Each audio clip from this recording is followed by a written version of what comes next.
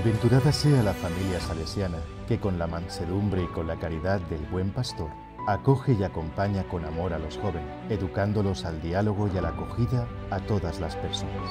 Esto es santidad. Auxilia a Israel su siervo.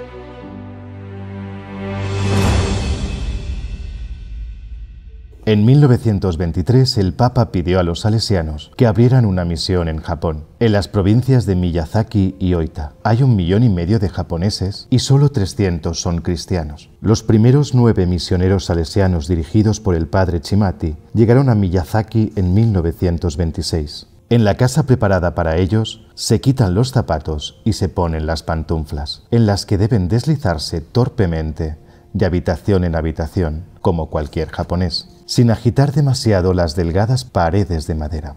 Del padre Chimati visita por primera vez a las familias cristianas, casi todas muy pobres. Escribe al superior general, se ven chozas y casuchas, ni siquiera Jesús en la cabaña de Belén. Bueno, ahora estamos en casa e inmediatamente comenzaremos a evangelizar a los pobres.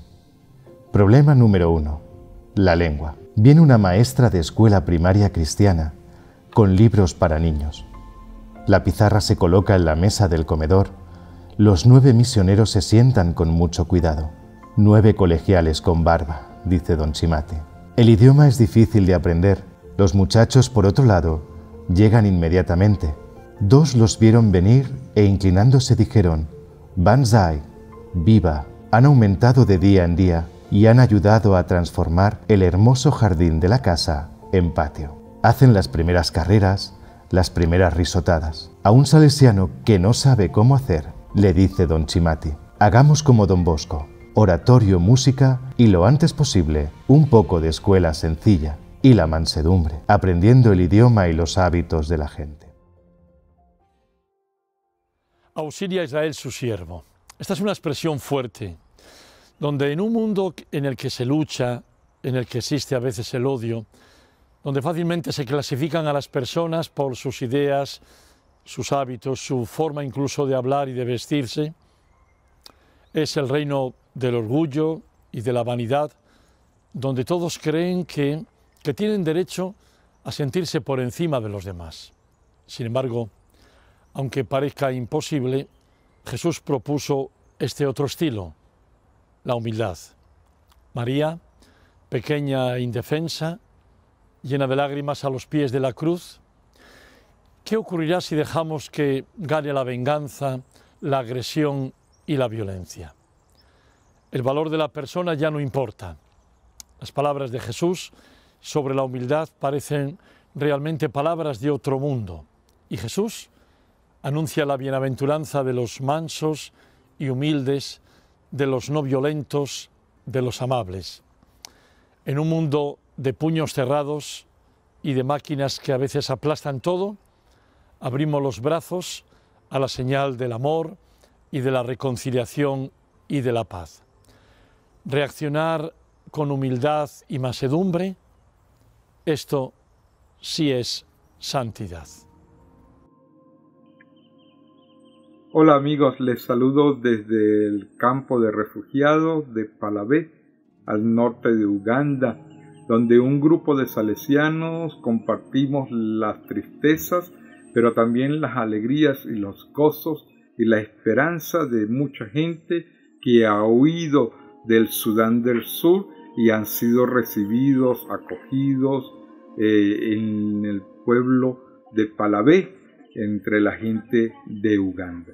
Soy sacerdote salesiano venezolano y mi nombre es José Ubaldino Andrade.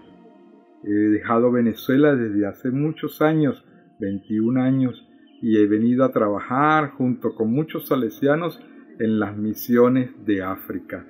Aquí nos encontramos con muchos jóvenes cada día, jóvenes que, que, que a veces sufren, jóvenes que a veces pasan muchas necesidades y, jóvenes que a veces han perdido la esperanza y que han dejado de reír.